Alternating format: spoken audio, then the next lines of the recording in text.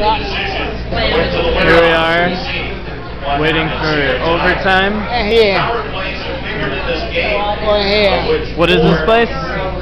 McGillicuddy's? Yeah. All the We're out yeah. this is the second time the Winterhawks have gone to overtime.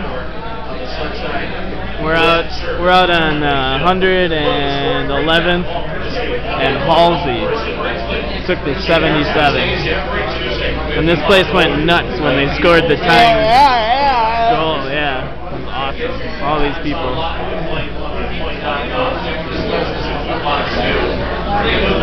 All right, more later.